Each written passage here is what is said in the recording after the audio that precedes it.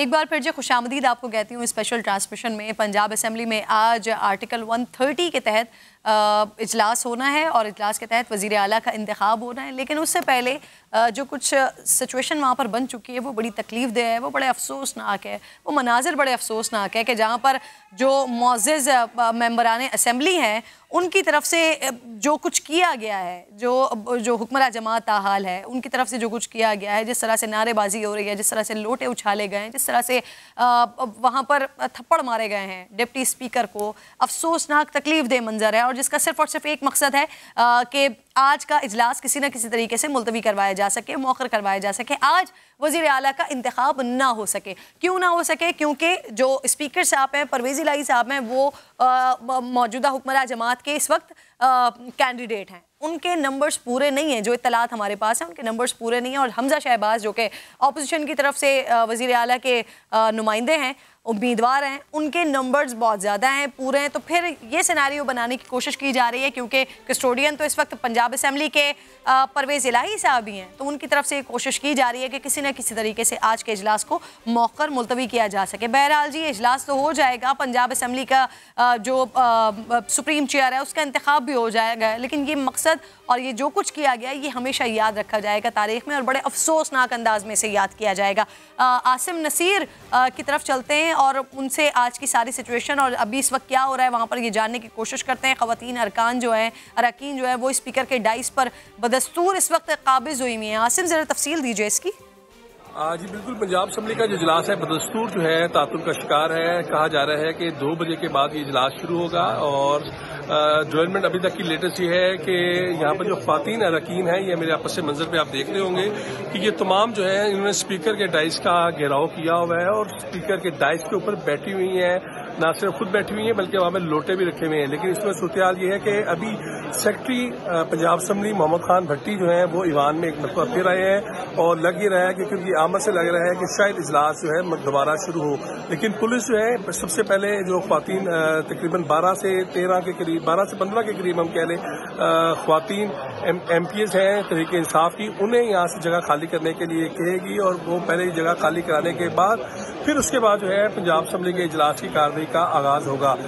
क्योंकि हमजा शहबाज और deputy speaker की तरफ़ से बाकायदा तौर पर कह दिया गया है कि पंजाब असम्बली का इजलास और वजीरा पंजाब का जो इंतज़ाम का मरला है, आज ही वो मुकम्मल होगा। तो अब देखते हैं कि कितनी देर में ये जो इजलास है वो शुरू होता है, लेकिन आप ये मेरे पस मंजर में देख रहे होंगे। इस वक्त जो है जो अपोजिशन के रकीन है, वो तो अपनी सीट्स पर बैठे हुए हैं। लेकिन जो हुकूमती रकीन की जो सीट्स है वो आपको बिल्कुल खाली नज़र आ रही है। स्पीकर के इसी, इसी तरह की डिले टैक्टिक्स मैंने मरकज़ में देखी थी जब वहाँ पर अदम अहतमाद की कार्रवाई होनी थी और फिर वज़ी अजम का इंतखब होना था। पहले वज़ी अजम को हटाकर और फिर उसके बाद दूसरे वज़ी अजम का इंतखब होना था। इसी तरह की डिले टैक्टिक्स उस वक्त के हुक्मरा जमात की जानब से की जा रही थी। और आज भी यही कुछ मंजर है। यानी हार को कबूल नहीं करना है। किसी ने किसी तरीके से अपनी हार को देर तक लेके जाना है, जो कि अफसोसनाक है। शाहीन मिशाल साथ मौजूद हैं। शाहीन, आप भी ज़रा डिटेल्स दे दीजिए। कायद ऐवान का इंतखब इस वक्त भी अल्तवा का शिकार है। स्पीकर की जो डाइस है, वहाँ पर ख़वान मौजूद हैं। नहीं नहीं कुछ करने दिया जा रहा। कुछ लग रहा है कब तक आगाज़ होगा इजलास का दोबारा? बिल्कुल, अभी तक जो सूरत हाल है, उससे तो यही लग रहा है कि आइंदा और एक घंटे में इजलास शुरू नहीं हो पाएगा और तकरीबन एक घंटा है और ये तख्ते पंजाब को पता करने की जंग है और दोनों साइडों से जो है वो खींचा खींचातानी जारी है। पंजाब असम्बली में कायदे कायदेवान का इंतज़ाम अभी तक अल्तवा का शिकार है। हुकूमती अरकान खातन स्पीकर डेस्क पर मौजूद हैं और जो वो वहाँ पर बैठी हुई हैं, साथ में लोटे भी रखे हुए हैं और गद्दार गद्दार की नारीबाजी भी जारी है। असम्बली वान में सिक्योरिटी तो मौजूद है, लेकिन लेडी एहलकार तैनात होने की वजह से उन खातन को हटाया नहीं जा सका, ना ही उनको अपनी नशिस्तों पर भेजा जा सका है। जो सेक्रेटरी असम्बली हैं वो दोबारा ऐवान में पहुँच गए हैं। एंटी राइट फोर्स भी मौजूद है जबकि वहाँ पर जो डिप्टी स्पीकर हैं वो भी मौजूद नहीं है ना ही उनकी कुर्सी मौजूद है। और अभी तक हम्म। ऐवान की सूरत हाल यही है कि खातन की जानब से नारेबाजी की जाती है। एक और एक और बड़ी अहम खबर आ रही है। शाहीन बिल्कुल आप वहाँ पर मौजूद है मैं दोबारा आऊँगी आपकी तरफ़ आपसे डिटेल्स लूँगी। एक और बड़ी इंपॉर्टेंट खबर आ रही है पाकिस्तान तहरीक इंसाफ के वो एक सौ तेईस अरकान के इस्तीफे। जिसके बारे में ये कहा जा रहा था कि जो डिप्टी स्पीकर कासिम सूरी उन्होंने अपने रेजिग्नेशन से पहले वो तमाम इस्तीफ़े मंजूर कर लिए थे। लेकिन अब नए स्पीकर मुंतखब हुए हैं राजा परवेज़ अशरफ साहब और उनकी जानब से ये कहा गया है कि स्पीकर तहरीक इंसाफ के इस्तीफ़ों की मंजूरी को इसके अमल को कलदम करार दिया जाता है। स्पीकर की कौमी असम्बली सेक्रेटरीट के इस्तीफ़े कानून और रूल्स के तहत देखने की हिदायत की गई है। आ, मेरे साथ मौजूद है उस्मान खान। उस्मान डिटेल्स दीजिए ज़रा। जी, बिल्कुल करें नौ मुंतब स्पीकर राजा परवेज ने अपने नशस्त पर बैठते ही। जो पहला ऑर्डर जारी किया है, उसके मुताबिक उनका ये कहना है कि तरीके इंसाफ के जो इस्तीफे थे, उनकी जो मंजूरी का अमल था, उसको कदम करार दिया गया है और असम्बली सेक्रेटेरिएट को यह हिदायत की गई है कि इस्तीफों का मामला कानून और रूल्स के मुताबिक देखने की ज़रूरत है और सबका रूलिंग का हवाला देते हुए उनका कहना था कि जैसे माजी में इस्तीफों की मंजूरी का अमल होता था, उस तरीके से आगे बढ़ा जाए और ये कहा गया है कि तरीके इंसाफ के इस्तीफे डी सील किए जाए और दोबारा स्पीकर को पेश किए जाए और दोबारा वो उसका जायजा लिया जाएगा और उसके बाद फैसला किया जाएगा कि इस्तीफे मंजूर होने हैं या उसका तरीकाकार ठीक था या नहीं था। तमाम फौरी तौर पर यह फैसला किया गया है कि तमाम इस्तीफे जो है वो कलदम करार दिए जाएँगे मंजूरी के और दोबारा जो है वो स्पीकर की जानी पेश करने का हुक्म दिया गया ठीक है उस्मान अब तफसील दे रहे हैं आप। इंपॉर्टेंट खबर है ये। आ, ये जो स्पीकर को डिप्टी स्पीकर की तरफ़ से जो इस्तीफे मंजूर कर लिए गए थे, उसको, उस मंजूरी के अमल को ही कलदम करार दे दिया है नए स्पीकर ने और उन्होंने कहा है कि जो कानून और रूल्स हैं उसके तहत इसको देखा जाएगा, सबका रूलिंग के तहत मामले को देखा जाएगा। स्पीकर की तहरीक इंसाफ के इस्तीफ़े डी सील करने और दोबारा पेश करने की हिदायत की गई है। ये बड़ा इंपॉर्टेंट मामला है, क्योंकि पाकिस्तान तहरीक इंसाफ की जानब से कहा जा रहा था कि हम ऐसी हुकूमत को नहीं मानते हैं, ऐसी असम्बली को नहीं मानते हैं। यानी कि जब तक आपकी हुकूमत थी, तब तक ये असम्बली साफ़ थी, शफाफ थी। लेकिन जैसे ही आप अपोजिशन में आते हैं, जैसे ही आपका इकतदार ख़त्म होता है तो फिर फौरी तौर पर यह असम्बली जाली भी हो जाती है। फौरी तौर पर यह असम्बली जो है, वो सिलेक्टेड भी हो जाती है। फौरी तौर पर यह असम्बली इम्पोर्टेड भी हो जाती है। और अब जबकि इम्पोर्टेड हुकूमत नामंजूर के नारे के साथ चल रहे हैं पाकिस्तान तहरीक इंसाफ के अरकान तो उनके लिए ये एक बुरी खबर है कि उनके जो इस्तीफ़े थे, वो तो मंजूर ही नहीं हुए अभी तक। गवर्नर खैबर पख्तूनखा शाह फरमान, इनका इस्तीफ़ा मंजूर कर लिया सदर आरिफ अलवी ने। और इस बारे में जो मजीद डिटेल्स हैं, उसके लिए समा के नुमाइंदे अब्दुलरहमान में जो ज्वाइन करेंगे, वो डिटेल देंगे। गवर्नर खैबर पख्तूनखा शाह फरमान ने भी इस्तीफ़ा दे दिया है। अब्दुलरहमान। जी बिल्कुल 11 अप्रैल को उन्होंने अपना इस्तीफा जो है सदर ममलिकत आरिफ अली भिजवाया था, जो कि आज मंजूर कर लिया गया है। इस तरह वो सबक गवर्नर बन गए हैं। इस्तीफा मंजूरी के बाद शाह फरमान जो है वो गवर्नर हाउस से रवाना हो गए हैं और उन्होंने गवर्नर हाउस छोड़ दिया और अपनी निजी रिहाइश का जो कि एतबाद गए हैं उसकी तरफ़ रवाना हो गए हैं। जी। ठीक है, बहुत शुक्रिया आपका।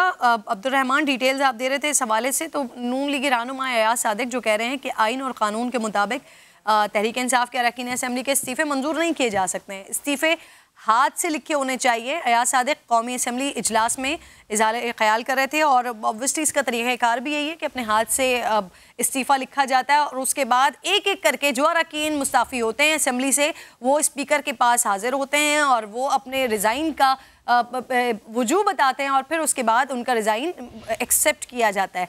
लेकिन ये एक फॉर्मेट के ऊपर नाम लिखे गए साइन किए गए और इकट्ठा सारे के सारे जमा करवा दिए गए और उसके बाद डिप्टी स्पीकर ने उसको मंजूर भी कर लिया और फिर वो खुद भी मुस्ताफ़ी हो गए। तो रूल्स और आइन के तहत ही देखा जाएगा इन तमाम के इस्तीफ़ों को ज़रा सुन लीजिए आया सादिक ने क्या कहा है। अब जो आपके पास इस्तीफे इस्तीफे आए हैं, वो साइक्लो स्टाइल कागज़ पे आए जबकि रूल्स ये कहते हैं वो in your own handwriting होने चाहिए number one number two individual verification नहीं हुई। ये ये एक लाजिम है। जो रूलिंग बतौर स्पीकर मैंने दी थी, उसमें इस्लामाबाद हाई कोर्ट में चैलेंज हो गई थी। और इस्लामाबाद हाई कोर्ट की जजमेंट ने उस रूलिंग को अपहोल्ड किया था। तो इसका मतलब है, उसके बाद कोई भी सुप्रीम कोर्ट ऑफ़ पाकिस्तान में नहीं गया। अब, जब ये, अब भी जो इस्तीफ़े आए हैं, उसका भी आप जब उस पर देखेंगे, उसमें भी यही पोजीशन है साइक्लो स्टाइल पेपर पे हैं दैट मीन्स रखा गया कि हमारे सामने साइन करो। दूसरा इंडिविजुअल वेरिफिकेशन है और और जो लवाजमात हैं वो आप पूरी करेंगे। तो अयाज सादिक साहब, जब एक्टिंग स्पीकर के तौर पर अहदा संभाले हुए थे, जिस वक्त कोई स्पीकर नहीं था, जिस वक्त तमाम दोनों स्पीकर साहिबान यानी कि स्पीकर और डिप्टी स्पीकर अपनी नशस्त छोड़कर चले गए थे तो फिर उसके बाद इजलास को कंडक्ट किया था तो वो अपनी उसी रूलिंग के हवाले से बता रहे थे। आ, उसके बाद स्पीकर को जो इस्तीफ़े दिए गए जो डिप्टी स्पीकर साहब ने मंजूर कर लिए थे वो हो गए हैं कलदम। दूसरी तरफ़ दोस्त मोहम्मद मजारी साहब डिप्टी स्पीकर पंजाब असम्बली उनके साथ क्या क्या किया गया है? आज उनके किस तरह से बाल खींचे गए उनको किस तरह से थप्पड़ मारे गए उनको किस तरह से उनके ऊपर लोटे उछाले गए? और अब तक ये किया जा रहा है किसी न किसी तरीके से कोशिश की जा रही है कि इजलास का आगाज़ ना हो सके वज़ीर अला का इंतखब आज ना हो सके। देखिए ज़रा हुआ क्या है उनके साथ।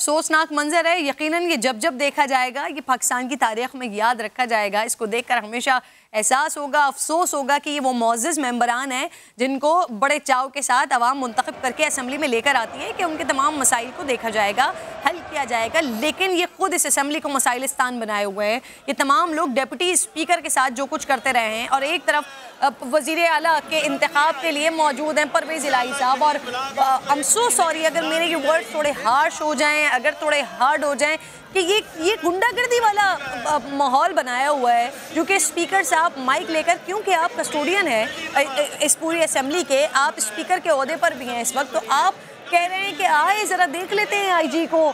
यहाँ पर एक महीने के लिए बंद कर देंगे, सज़ा देंगे उसके और उसके साथ साथ उसके साथ साथ एक तरफ़ स्पीकर साहब हैं, जो कि बहुत ज़्यादा कॉन्फिडेंट हैं कि किसी न किसी तरीके से उनके पास आनी चाहिए अब अगली नशस्त। और जिनके लिए कुर्बान किया गया है, जिनकी कुर्बानी दी गई है, ये बराबर में बैठे हुए हैं, वो मौसूफ, जिनका नाम है उस्मान गुजार साहब। अब से कुछ रोज़ पहले तक पंजाब असम्बली के मेंबर असम्बली के तौर पर वज़ीर अला के तौर पर हुआ करते थे पंजाब पर मुसलत हुआ करते थे। उनका इतमान देखिए बड़े सुकून के साथ बड़ी लाताल्लुकी का इजहार करते हुए वो बैठे हुए हैं और बिल्कुल ये एन उसी तरह की लाताल्लुकी है जैसी उनकी लाताल्लुकी पंजाब हुकूमत में हुआ करती थी। ये जिस तरह से इधर उधर देख रहे हैं बिल्कुल इससे अंदाज़ा किया जा सकता है कि कितना ताल्लुक़ उनका इस ऐवान के साथ है कितना ताल्लुक़ उनका पर, परवेज़ इलाही साहब की बातों के साथ है। और कितना ताल्लुक़ इनका उस हुकूमत के साथ रहा है, जिस पर मुसलसल तनकीद होती रही है। और यही वो मौसूफ़ हैं, यही वो शख्सियत हैं कि जिनकी बुनियाद पर, जिनको वजह बनाकर जो तमाम पाकिस्तान तहरीक इंसाफ के वो लोग, जो इमरान खान साहब के मुश्किल वक्त में इमरान खान साहब के लेफ़्ट एंड राइट पर हुआ करते थे, जिनका नाम जहांगीर तरीन और अलीम खान है ये वो मौसू ये वो शख्सियत हैं कि जिनकी वजह से, जिनकी बैड गवर्नेंस की वजह से वो लोग पाकिस्तान तहरीक इंसाफ को छोड़ कर गए हैं। इमरान खान साहब ने अपने ऐसे दो अब लोगों को खोया है जो बड़े मुश्किल वक्तों में उनके साथ रहे हैं। और आज माहौल ये है कि परवेज़ इलाही साहब वज़ी अला की नशस्त हासिल करने के लिए इस वक्त जो कुछ बन पा, पा रहा है जो कुछ बन पा रहा है वो सब करने के लिए तैयार है। ढिले टैक्टिक्स का इस्तेमाल किया जा रहा है। यहाँ पर धींगा मुश्ती की जा रही है यहाँ पर मारा मारी हो रही है यहाँ पर डिप्टी स्पीकर जिनकी कुर्सी का एहतराम होता है महजब चेयर होती है वो उस कुर्सी के साथ उस शख्सियत के साथ जो कुछ किया गया है वो बड़ा अफसोसनाक है। तो डिप्टी स्पीकर पर तशद के ख़िलाफ़ कौमी असम्बली में क्योंकि यहाँ बात हुई वज़ी अजम साहब जिस वक्त खिताब कर रहे थे आ, उस वक्त उन्होंने इस बात का तस्करा किया। तो करारदाद नून लीग की तरफ़ से पेश की गई है और शहजा फ़ातमी ने आ, ये करारदाद पेश की है और ऐवान ने करारदाद को मंजूर किया है। डिप्टी स्पीकर पंजाब असम्बली पर ज़बानी और जिसमानी हमला किया गया है। इस बरबरीत की मजम्मत करते हैं कौमी असम्बली के तमाम मेम्बरान उनकी जानब से ये करारदाद पेश की गई है। और गालिबा बैकग्राउंड में उस वक्त शायद आज़ान भी हो रही थी जिस वक्त की ये तमाम आ, आ, जो कुछ होता रहा वहाँ पर। पंजाब असम्बली में जो कुछ हुआ है उसकी हमला करने की तारीख़ गुलाम हैदर वाइन के खिलाफ अदम अतमाद की तहरीक पर झगड़ा हुआ था। डिप्टी स्पीकर मियाँ मनाजर रांझा पर भी हमला हुआ था। डिप्टी स्पीकर दोस्त मोहम्मद मजारी पर यह हमले का दूसरा वाक़ है। इससे पहले, जैसे मैं आप लोगों को बता रही थी कि इससे पहले बहुत कुछ होता रहा है पंजाब असम्बली में, लेकिन इस तरह का वाक़ कि स्पीकर को, डिप्टी स्पीकर को मारा जाए, उनके ऊपर इस तरह से लोटे उछाले जाएँ, उनकी जो चेयर का हुरमत है, उसको पामाल किया जाए, ऐसा मैंने मंजर नहीं देखा। आसिम नसीर, ज़रा बताइएगा कब कब क्या क्या हुआ है, आज के मंजर को नरेट करते हुए। पंजाब असम्बली की जो तारीख है, इसके हवाले से हम आपको ये एक्सक्लूसिवली हम बताएँगे कि 93 में जब गुलाब हैदर वाई की हकूमत थी तो उस वक़्त भी इसी तरह का वाक़ हुआ था और उस वक़्त जब डिप्टी स्पीकर ने तरीके अदम इतबात के ऊपर वोटिंग वगैरह करानी थी तो उस वक्त डिप्टी स्पीकर मियाँ मनाजर अली रांझा थे, जो कि आज भी पाकिस्तान मुस्लिम लीग नून के एम पी हैं।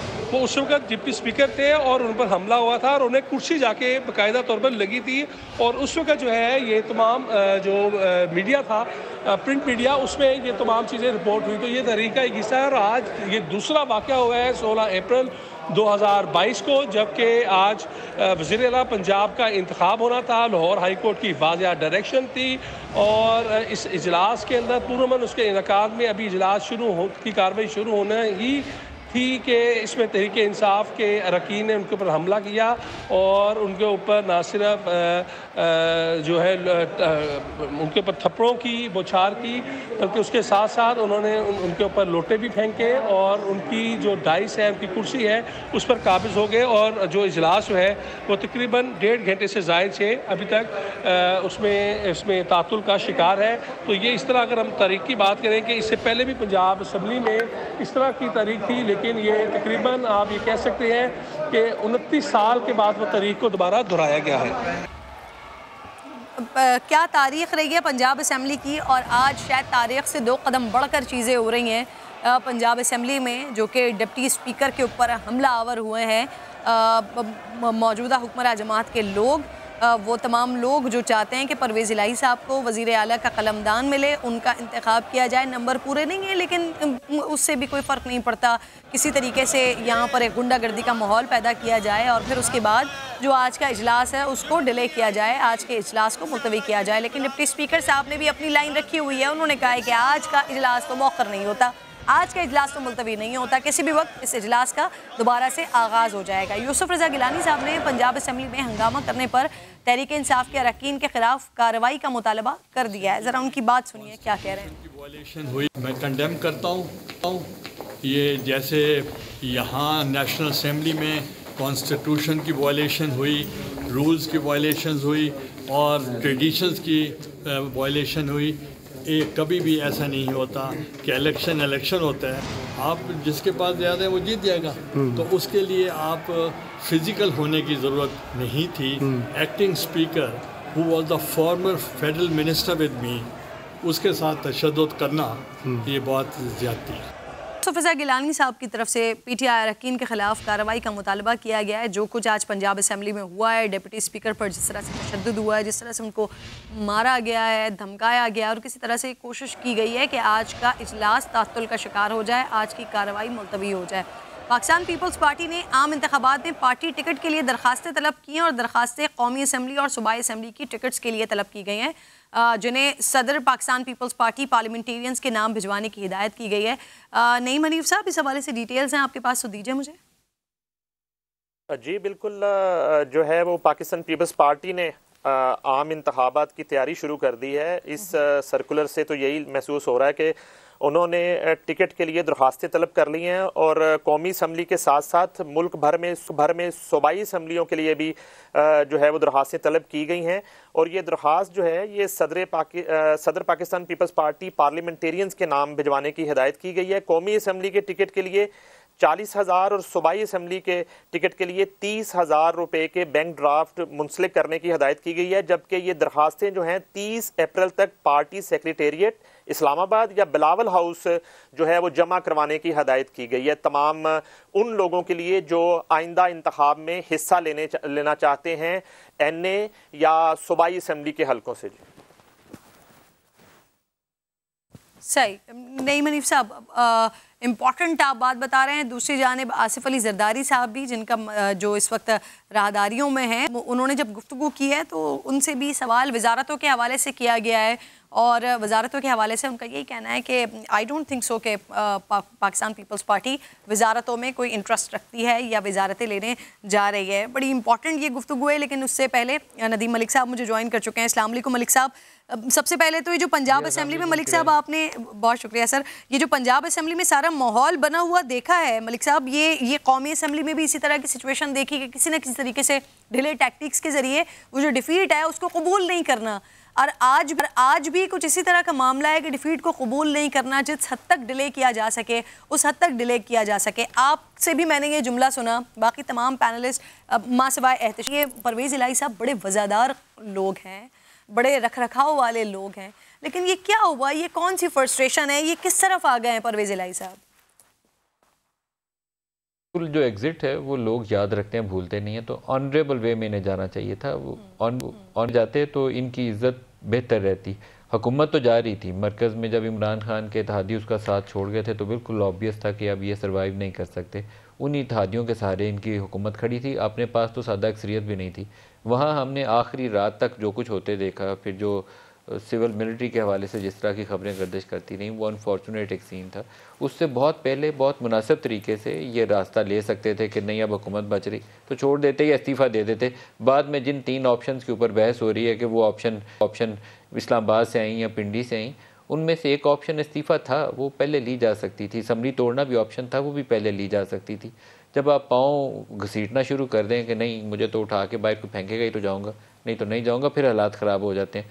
सूबाई असम्बली के अंदर सूरत हाल उससे भी ज़्यादा बुरी है, क्योंकि सूबाई इसम्बली के अंदर इनके अरकान, इनके साथ अब नहीं है। वाज तौर पर उसके अंदर जहांगीर तरीन ग्रुप है, उसके अंदर अलीम खान ग्रुप है उसके अंदर जो काफ लीग है, उसके अंदर तकसीम है। तो एक ऐसा हाउस जिसके अंदर इनकी अपनी जमात इनके साथ नहीं है, उसमें तो इनका ज़्यादा देर बचना वैसे मुमकिन नहीं है। दस सीटों का फ़र्क था और वो दस सीटें, काफ लीग की उन दस सीटों के सहारे इनकी हुकूमत कायम थी। और अब तो वहाँ पचास साठ वोटों का फ़र्क पड़ चुका है, अब ये कैसे चलाएँगे? बहुत मुश्किल है। तो इसलिए मशवरा तो यही है, पीटीआई वालों को भी और चौधरी परवेज़ लाई को भी कि एक बाइज़त रास्ता इख्तियार करें, जो पार्लियामेंट्री भी हो जमहूरीत के मुनासिब, जो मुताबकत रखता हो, जो डेमोक्रेटिक नॉर्म्स हैं हमारी, उससे मुताबकत रखता हो, उससे हट के कुछ करेंगे तो जग हंसाई होती है, लोग हंसेंगे उसके ऊपर। हुकूमत तो इस तरीके से बचाई नहीं जा सकेगी। पंजाब में भी अक्सरियत खो चुके हैं, पीटीआई के लोग पीटीआई के साथ नहीं हैं। अभी आपने एक स्पीकर की रूलिंग मरकज़ में थोड़ी देर पहले सुनी होगी, जहाँ उन्होंने कहा कि पीटीआई के अरकान के इस्तीफ़े जो सूरी साहब मंजूर करने का ऐलान कर गए हैं वो कवायद के मुताबिक नहीं है। तरीक़ाकार उसका ये होता है कि वो इंडिविजुअली स्पीकर उनको वेरीफाई करते हैं उसके बाद मंजूर करते हैं। हैंड रिटर्न शायद होने चाहिए।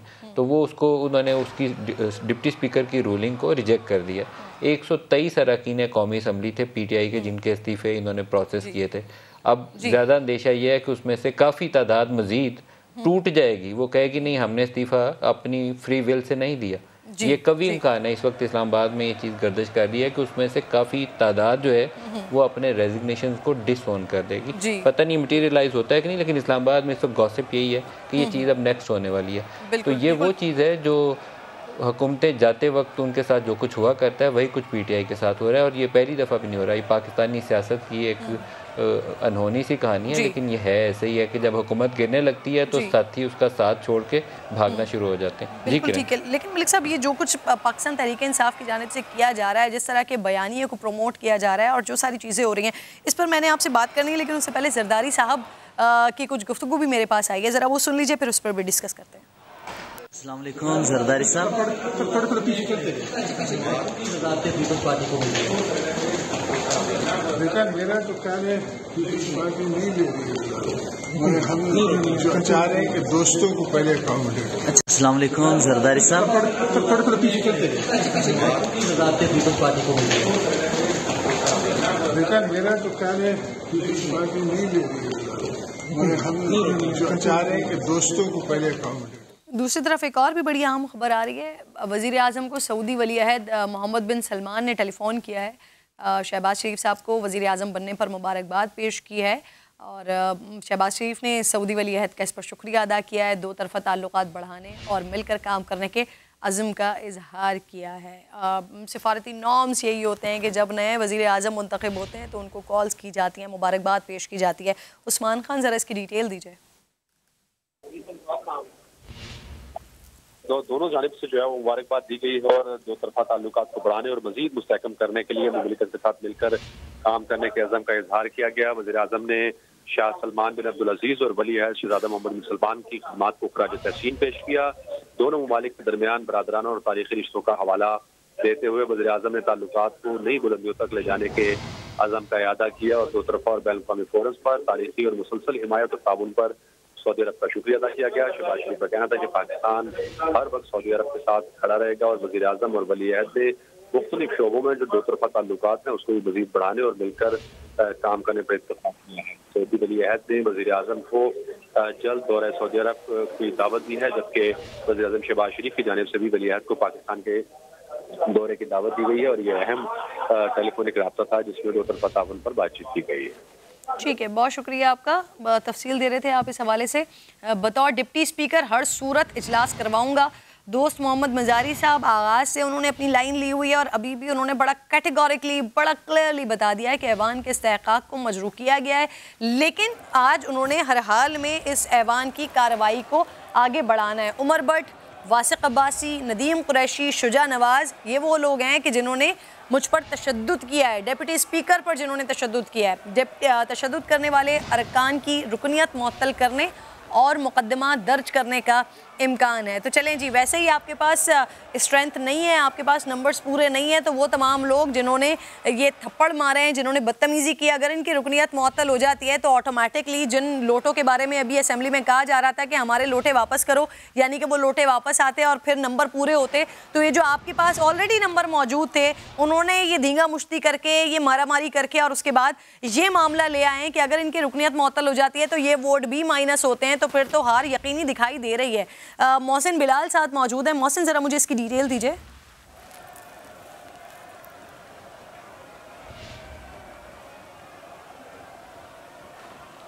मोहसिन बिलाल, आपको आवाज़ आ रही है मेरी? मोहसिन बिलाल से भी इस पर बात करते हैं। दोस्त मोहम्मद मजारी साहब, उन्होंने आगाज़ से अपनी एक लाइन रखी हुई है कि वो आज के इजलास को मुलतवी या मौखर नहीं करेंगे। इसी वजह से जब वो आए इजलास का आगाज़ करने के लिए तो उनके ऊपर लोटे उछाले गए, उनको थप्पड़ मारे गए। आ, उनके साथ बदजबानी की गई बदकलामी की गई कुछ लोग मनाजर में ऐसे भी नज़र आए जिन्होंने उनके बाल तक खींचने की कोशिश की। तो फिर वो नाम भी सामने आ गए उमर भट्ट का नाम सामने आ गया वासिक अब्बासी का नाम सामने आ गया नदीम कुरैशी शुजा नवाज़। ये वो चार लोग हैं जिनका खुद डिप्टी स्पीकर ने बताया है कि ये वो चार लोग हैं कि जिन्होंने मुझ पर तशद किया है और अब इनकी रुकनीत भी मअतल हो सकती है और मुकदमा भी इनके ऊपर हो सकता है। तो ये चार नंबर्स तो वैसे ही फिर ऑटोमेटिकली कम हो जाते हैं। नईम हनीफ साहब, आपके पास कुछ कुछ इतलात इस हवाले से मौजूद हैं? बताइएगा ज़रा। जी, किरण, मेरी अपनी बात हुई है डिप्टी स्पीकर पंजाब असम्बली दोस्त मोहम्मद मजारी से और बिल्कुल सही इतला हैं कि वो बड़े पुरज़म हैं और बड़े हौसले में हैं और सिर्फ़ ये जो मुशावरत जारी है इस वक्त आई जी, पंजाब भी उनके चैम्बर में मौजूद में मौजूद हैं सी सी पी ओ लाहौर भी मौजूद हैं। मशावरत वो अपनी लीगल टीम से भी कर रहे हैं। वो बिल्कुल एक आइनी तरीके से इस प्रोसेस को अंजाम देना चाहते हैं। अदरवाइज़ ये उनके साथ जो वाक़ पेश आया है, बिल्कुल किसी तरह की घबराहट मुझे नहीं दिखाई दी उनकी गुफ्तु में और ना ही वो आज की तारीख में इस ईवान से वज़ी अला के इंतखब का प्रोसेस मुकम्मल कराए बगैर वापस जाना चाहते हैं। उनका ये कहना था जब हमसे बात कर रहे थे कि मैं जो है वो मौजूद अदलिया का जो हुक्म है, उसके मुताबिक मेरी ये ड्यूटी है कि मैं आज इस प्रोसेस को बखूबी सर अंजाम दूँ और इसमें जो है वो मैं सुरखरू होना चाहता हूँ। इस तरह के हमलों से बिल्कुल जो है मुझे कोई हम्म। फ़र्क नहीं पड़ता। अलबत् उन्होंने कुछ नाम पॉइंट आउट किए हैं कुछ नाम इनके अलावा भी हैं क्योंकि वो पंद्रह के करीब लोग हैं जिनसे चौधरी परवेज लाई साहब ने कल मीटिंग भी की जौहरलाई पैलेस में और ये सारा प्लान किया था हमला करने का। उसमें ख्याल है सर मुझे मुझे इजाज़त है मुझे एक छोटी सी ला रही है ब्रेक लेते हैं ब्रेक के बाद वापस आते हैं फिर डिस्कस करते हैं।